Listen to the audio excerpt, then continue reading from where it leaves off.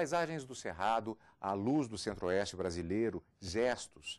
É da emoção que nascem os versos de Angélica Torres. A poetisa é a convidada do primeiro bloco do nosso programa Iluminuras de hoje, que está começando agora. Goiana de Ipameri, Angélica Torres tira inspiração de tudo que a cerca, seja a luz da cidade onde nasceu ou de Brasília, da música popular brasileira ou da vegetação do Cerrado. É autora de diversas obras, entre elas Sindicato de Estudantes, que recebeu em 1986 o prêmio Mário Quintana de Poesia. E eu começo agradecendo a presença da Angélica Torres conosco aqui na Biblioteca do Supremo Tribunal Federal, abrindo o nosso programa Iluminuras de hoje. Na verdade, Angélica, eu vou começar mesmo é com a leitura de um poema seu e uma pergunta. Primeiramente, aqui um poema que está no livro Paleolírica, eu já gostaria de mostrar para os telespectadores, em que nós temos a seguinte poesia: Névoa seca. Sob o neon, o mesmo tom deitado sobre o dorso do cerrado, camaleando o desamor. Angélica, eu sou de Brasília, então eu vejo uma série de elementos, eu sou nascido aqui, é, sob o neon, uma referência à própria luminosidade da cidade. Névoa seca, algo bastante característico daqui. E deitado sobre o dorso do cerrado, exatamente, Brasília, é, camaleando o desamor. Muito se fala a respeito das questões é, sentimentais, até mesmo das pessoas que se mudam para aqui, aqui para Brasília. Muitas pessoas fazem essa leitura de muitos dos seus versos, ou seja, um retrato ainda que indireto da cidade. Mas você não, vê, não via muito isso na própria obra. Como é que é isso? É, é, nem eu sei explicar muito bem, porque na verdade eu sou goiana, daqui de perto, né? nasci numa cidadezinha aqui, 300 quilômetros daqui de Brasília, então está no contexto né, da minha história. Brasília tem a ver, né? o cerrado, toda essa. A luz nem tanto. A luz é uhum. é um pouco diferente, né? A luz aqui é aquela bem neon, exatamente, e a da minha terra ela é mais amarelinha, assim, é lindíssima. Também, as duas são muito lindas. Mas são tons diferentes. Mas, é, são tons diferentes e, e, ela, e, a luz é fundamental, né? Na arte, né? Como ela reflete, como ela incide, como uma coisa, como ela, como ela devolve a estética, a plasticidade, né? Sobre uma afirmação que recentemente, inclusive, foi é, utilizada também por Ferreira Goulart, que diz algo mais ou menos assim, que é, a poesia só é possível quando do espanto. Um poeta, ele só pode passar para o papel alguma mensagem, alguma poesia, é, quando algo o espanta, quando algo o afeta de uma determinada forma. Você concorda então com essa afirmação? É, é uma visão, uma, uma colocação dele e do Afonso Romano. Afonso, Afonso Romano de Santana, ele também fala a mesma coisa, do, do espanto reverberado, poesia o espanto reverberado. Eu acho que é um sentimento deles dois, totalmente respeitável. Agora, não é o meu. Eu não, eu não tenho espanto diante da poesia, não. Eu não me definiria assim, não. Eu tenho, é ao contrário. Eu, quando, eu, quando, ela, quando eu entro no espírito da né, a, a contemplação que traz a poesia, que, quando a musa chega perto, né, eu sinto que eu estou no meu país. É o contrário. Eu tô, estou bem. É como se eu tivesse vindo da rua, aquela sabe, esse afã de, da luta diária, aquela coisa, aquele cansaço, aí você abre sua casa, assim, você chega naquele oásis, você fala, ah, estou em casa. É um pouco assim, eu me sinto numa intimidade muito grande, sabe, uma identificação muito grande nesse momento. É, existe esse universo cognitivo de todos nós que acaba gerando essa, a, a, percepção que o autor, quem quer que seja ele, ele, ele vai ter do mundo, com algumas variações, que podem ser passadas para o papel. Eu digo isso porque há uma formação específica é, sua que é em artes cênicas. É, e por meio dos cursos, por meio, por meio dessa observação, dessa, da contemplação, inclusive, se pode desenvolver determinadas habilidades. O, a, a, formação em artes cênicas deu algum elemento de observação que pode refletir no processo criativo? Sempre, tudo reflete, eu acho, no processo criativo. Né? Eu acho que toda, toda a sua vivência, toda a experiência que a gente tem na vida, todo olhar toda captação é, é importante para. Agora, no caso, por exemplo, teatro, né? Eu fiz teatro aqui em Brasília ainda com Silvia Ortoff. Eu entrei no grupo da Silvia Ortoff e eu acho que tudo isso, claro, que me, sabe, me enriqueceu muito assim para o olhar, né? Cênico, né? Porque eu acho que a minha poesia essa aqui, principalmente, é, ela é muito imagética. Toda a experiência que está aqui nesse livro, esse paleolírica, ela é poesia imagética. É para você, é uma pintura, é quadro, sabe? São quadros que eu pinto, mais do que, é, sei lá, falar muito lindamente. eu pinto quadros. Nesse sentido, eu gostaria de mostrar justamente essa publicação. É... Coiquá? Seria. Coiquá. Coiquá. É, Coiquá, Um Buraco no Céu, com uma edição bilíngue, em inglês também, A Hole in the Sky, que tem uma, uma, uma série de características extremamente curiosas relacionadas à própria linguagem gestual e do teatro. Uhum. Como é que foi produzido? Qual é a história dessa publicação, Angélica? Essa, esse livro nasceu de uma pesquisa de duas atrizes daqui de Brasília. Elas estavam formando lá na, lá na UNB, em artes cênicas, a Clarice Cardel e a Larissa Malte. E essas duas meninas, na época, garotas ainda, eu fui assistir, eu era repórter, não sei se do Correio, na época, do Jornal de Brasília, e eu fiquei muito apaixonada quando eu vi o trabalho delas. Eu achei seríssimo, exatamente pela, já, pela minha experiência teatral que eu tinha tido. E fiquei muito emocionada e chorei, e elas também gostaram muito, elas viram que eu me tocou muito. E elas me convidaram, então, para escrever a experiência delas, de ir lá para essa aldeia dos Chicrim do Cateté, que é, um, é, um, é um rami, uma ramificação dos Caiapó, para elas fazerem um estudo da pesquisa corporal delas, de gestual, e deles lá, da, da, da nação, da, da, do povo Chicrim, e, e, e, e, que eles têm essa coisa da pintura corporal, né? Uhum. que é também uma coisa muito importante. Só que elas me chamaram depois que elas foram. Elas foram, é aí eu, que eu, fui, eu não fui, eu não, não participei. Então eu tive que resgatar depois tudo para poder a história. Fui ouvindo um por um, como jornalista mesmo, como, como repórter, para poder escrever. E a, a, demanda era escrever com poesia. Eu vou voltar um pouquinho nessa questão também da, da própria formação, especificamente, uhum. porque você também tem uma formação específica. É, depois de ter sido jornalista, inclusive, e teve uma experiência específica em edição de livros e, e periódicos pela Universidade de Wisconsin, nos Estados uhum. Unidos. Uhum. E você também tem trabalhado, alguns dos livros que nós temos aqui são livros que foram é, editados e publicados por você. Uhum. E há uma situação muito criticada, muito falada a respeito de uma crise de mão de obra que nós temos no Brasil. De mão de obra no sentido de, da expertise das pessoas que trabalham com absolutamente qualquer coisa. Uhum. Fez diferença essa experiência para você poder trabalhar especificamente com edição de livros e periódicos aqui, como você está fazendo agora na área de poesia? Fez muita, muita mesmo, porque eu já fazia, eu já editava quando eu fui para lá. Eu editava uma revista no Ministério do Trabalho, e aí quando eu fui para lá, que eu levava o livro, a revista e mostrava os exemplares, eu levei muita bronca dos americanos.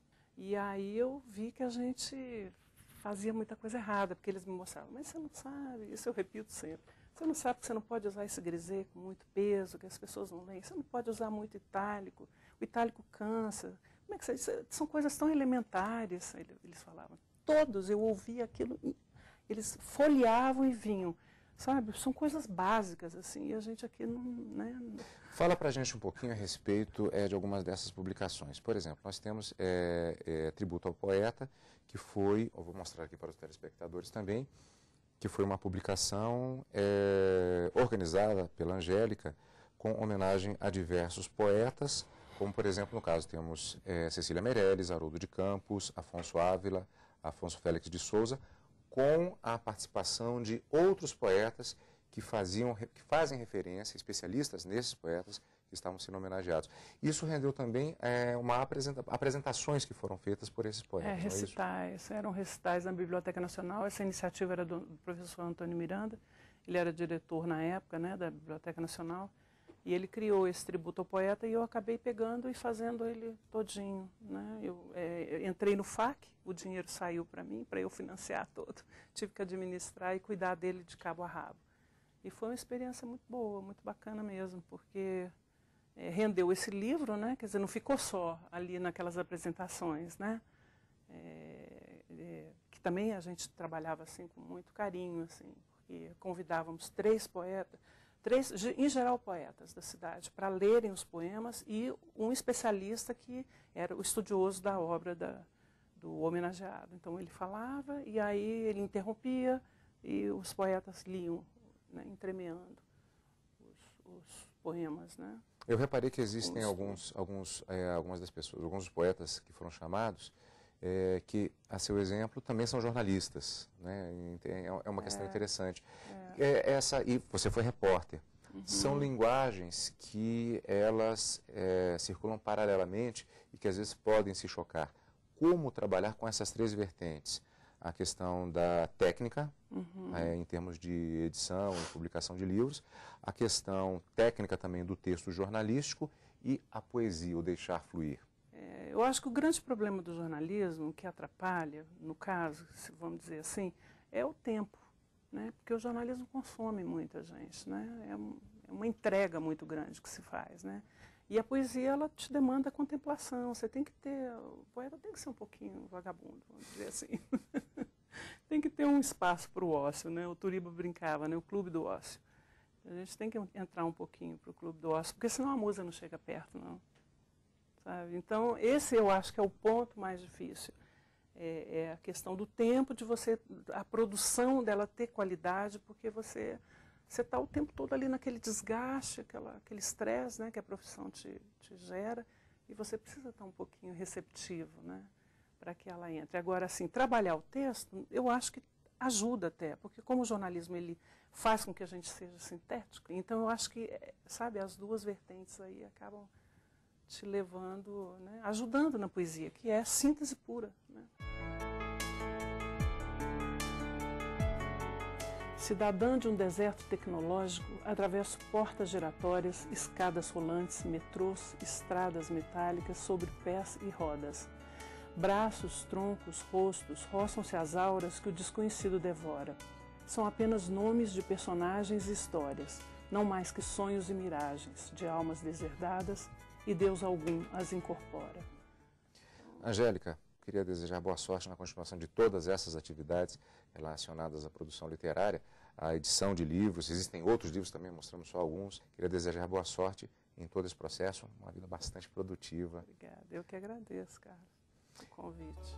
E o Luminuras agora vai para um rápido intervalo. No próximo bloco, você vai ver a relação entre um best-seller e o trabalho de uma promotora de justiça. Não saia daí, o Luminuras volta já.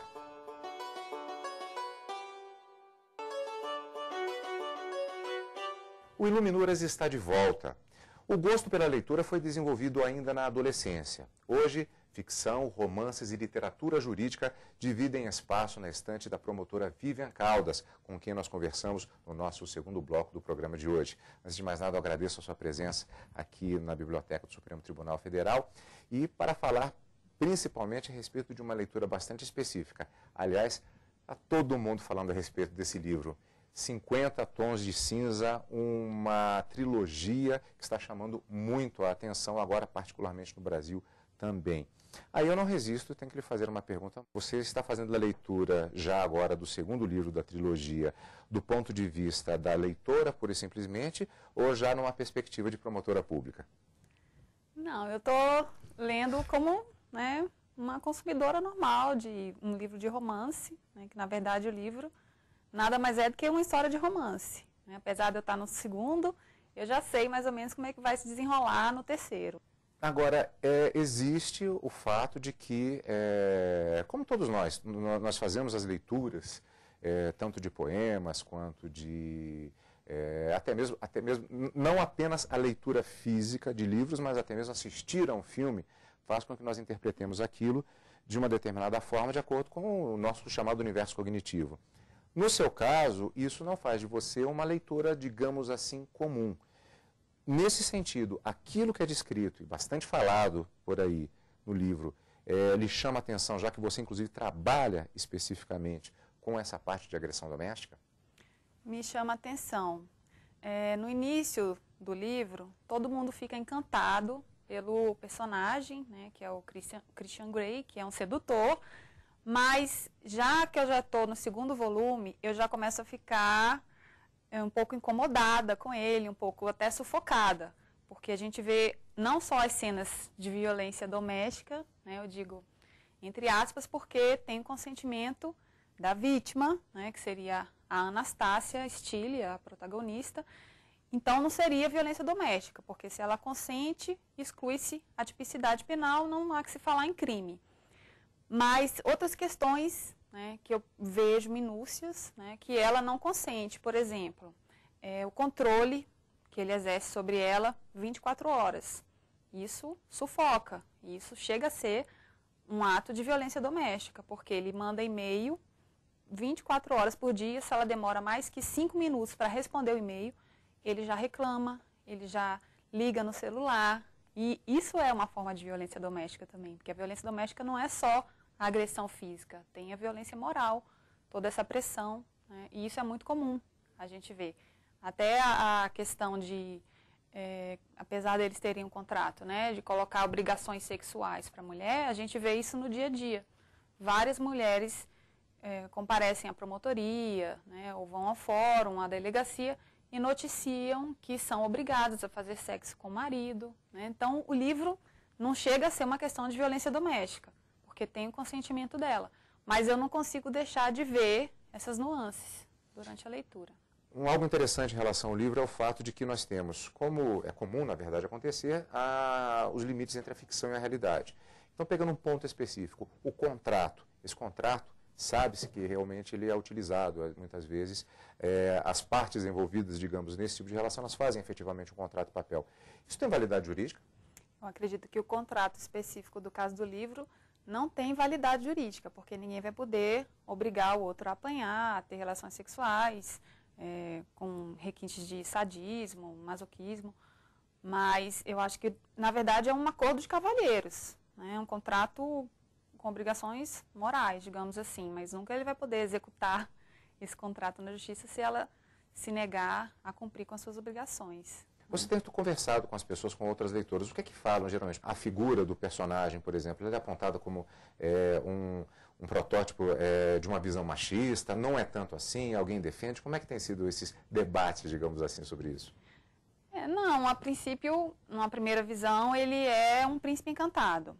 Aí depois a gente vai descobrindo que não é bem assim, porque ele tem uma doença, né? no livro é tratado, é tratado como uma doença, que depois no final ele vai se curar graças ao amor da Anastácia, a protagonista. Né? Uma espécie de a Bela e a Fera com requintes Exatamente. Entregamos o final do livro, né? É. Agora, eu gostaria de falar também, é uma perspectiva que nós temos é, aqui no nosso programa Iluminuras, que é sobre essa questão da literatura, genericamente falando. Aqui podemos fazer, fizemos essa abordagem também em relação a esse livro, mas também nós sabemos que você tem outros livros é, de sua preferência que podem ser analisados também sob um viés jurídico. Por exemplo, o Conde de Monte Cristo, que é um clássico também, de Alexandre Dumas, que fala exatamente sobre uma situação em que alguém, num determinado contexto, primeiro é vítima do sistema jurídico vigente à época, justamente na mudança do período pós-napoleônico na França daquela época.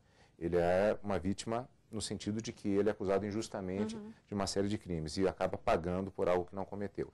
E depois ele acaba é, assumindo a, o fazer justiça pelas próprias mãos. Isso pode ser analisado também por um promotor, por uma promotora, sob uma perspectiva jurídica também? Pode também, né? Porque ele fazendo pelas próprias mãos, ele também está se tornando um criminoso, que era justamente o motivo do ódio dele. Né? Ele foi levado à prisão por um ato criminoso, né? por conta de um rival, por conta de um amor, né? E acabou que eles, no final das contas, o mocinho, ele vira bandido. E nós temos, assim, nesse sentido, uma reflexão que a literatura pode levar ao própria pessoa que trabalha com direito. Acontece uhum. isso. Um outro exemplo também que é um dos seus livros preferidos, que é Carmen. É, temos a ópera, tem o livro, o libreto, né, do, de Prespa Merimê. É, também pode se tratar um pouco dessa reflexão do comportamento humano, da alma humana, em relação ao seu dia a dia como promotora? Sim, né? É, com relação a Carmen, a gente vê que o protagonista, ele por amor, era uma pessoa de bem, mas que se torna um bandido, né, em razão da Carmen. E no final ele comete uma série de crimes, roubos, assassinatos e acaba matando a própria Carmen, né? Você já viu isso no seu dia a dia como promotora, situações, se não agora mais semelhantes ou que lembraram de alguma forma, pessoas que é, entram numa, numa, por uma paixão, por algo assim que acabam, acabam se perdendo na vida? Você chegou Sim, na violência doméstica a gente vê isso todo dia, né? Às vezes uma simples discussão e aí evolui para um crime de ameaça, de morte, e acaba num homicídio por conta de um jantar que não estava pronto na hora. Né? O autor, né, o assassino, não era um bandido de carteirinha, mas perdeu a cabeça ali e acabou cometendo um ato grave, né, gravíssimo. Lidar com isso, literatura, leitura dos livros, é algo que também ajuda? Você acha que a literatura pode fazer, ter um efeito desse tipo? Com certeza. Ajuda até a gente a refletir sobre questões que, de repente, ali no dia a dia, debruçado sobre a nossa mesa, a gente não ia enxergar né, do jeito que o autor colocou. Por exemplo, é, As Esganadas, de Jô Soares. É, ele mostra bem uma visão do inquérito policial, né, todo aquele início de investigação, e o assassino do livro, ele faz uma brincadeira de gato e rato com a polícia. E a gente vê é, que, de repente, no dia a dia, se você tivesse se ligado naquelas questões, você não teria é, perdido tanto tempo atrás de provas que apontam para uma direção oposta, né, a solução. Às vezes nós vemos personagens que são agentes públicos de uma certa forma, às vezes são investigadores, às vezes são policiais, detetives famosos. E, na verdade, você o que dá o prazer justamente da leitura é esse processo eu fico com medo de falar de investigação porque existe o debate a respeito do poder de investigação do Ministério Público. Mas do ponto de vista de verificar aqueles dados e tentar entender o que se passava na cabeça do autor, não do livro, mas do agente do, que perpetrou determinado fato, é, esse, esse, esse exercício cerebral, ele é algo que com o tempo vai se tornando algo que lhe puxa na atuação profissional. Você tem até prazer desse tipo? Talvez escrevesse um livro em algum dia a respeito desse tipo de atuação? Olha, escrever um livro acho que não é bem a minha praia, mas tentar entender a mente criminosa, acho que todo promotor que trabalha com crime tenta fazer isso, né? Até, por exemplo, no tribunal do júri, para você tentar decifrar o crime, né? Porque aqui a gente não tem aquela variedade de provas que a gente tem nos Estados Unidos, na Suíça, então faz parte do processo você tentar entender a mente criminosa para poder desvendar, né, solucionar o mistério. O próprio fato de, de, interrogar, eventualmente, um acusado, justamente na produção de provas, na elaboração é, da peça que terá de ser apresentada perante a justiça, isso também é um exercício cerebral que o promotor tem que se focar para entender a mente daquela pessoa com quem está conversando, inclusive da vítima também? Absolutamente. A forma que você coloca as perguntas é essencial para você poder buscar a verdade na resposta que ele vai dar. Né? Até a forma como ele se comporta durante o interrogatório já é um indício, um indicativo de que ele está mentindo ou falando a verdade. Né? Se estiver nervoso, se não estiver olhando no olho. Não existe uma regra, não é matemático. Mas são várias informações que a gente tem que tentar buscar durante o ato do interrogatório. E é interessante ler um livro às vezes posteriormente fala, puxa, essa situação que está descrita no livro, ela na verdade reflete aquela, aquela situação que eu vivenciei quando, quando acompanhava uma determinada investigação. Uhum, com certeza. Vivian, queria agradecer a sua presença aqui na Biblioteca do Supremo Tribunal Federal para falarmos a respeito dessa questão do direito e da própria literatura e particularmente desse livro que causa tanta polêmica, podemos dizer. E eu queria desejar boa sorte na continuidade é, do seu trabalho no Ministério Público é, na leitura dos livros e agora do segundo livro e posteriormente do terceiro, embora já saibamos qual é o resultado final. Ah, eu que agradeço a oportunidade. Muito obrigado Obrigada. pela participação. E por aqui vai ficando o nosso programa Iluminuras de hoje. Você pode assistir os programas antigos na internet www.tvjustiça.jus.br. Encontro marcado na próxima semana na revista eletrônica sobre literatura aqui na TV Justiça.